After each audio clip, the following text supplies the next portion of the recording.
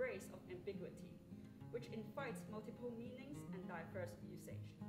The ambiguous scene between the civic and the domestic spheres of my grandmother's house, street, and neighborhood. Inundation of the spine structure with flooding.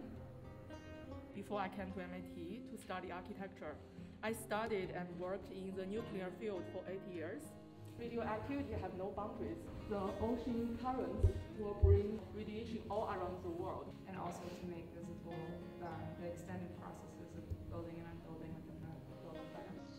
KUE also serves as a food source for migratory birds in the desert, such as great white pelican and blue heron.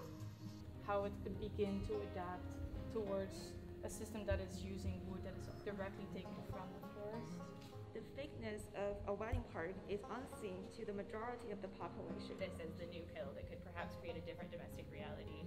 Moving from high resolution to low, we begin at the unit.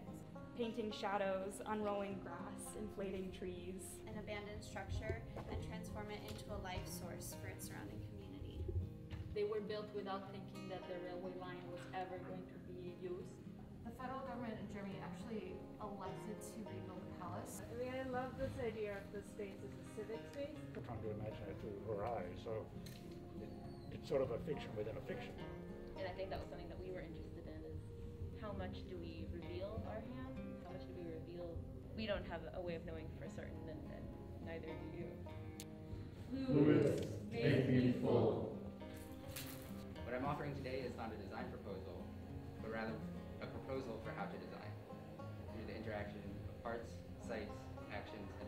Today, the digital media adds another dimension on top of the simple binary of the real and fake. The material logic of the digital era increasingly undermines the notion of an inherent physical truth in architectural materials. And confront topics that are difficult to reach within our normal modes of discourse. To formulate our perspective on what showing labor actually entails, we first needed to learn to see it for ourselves. Labor management does not solely have to happen the business way, but can happen the architect's way too.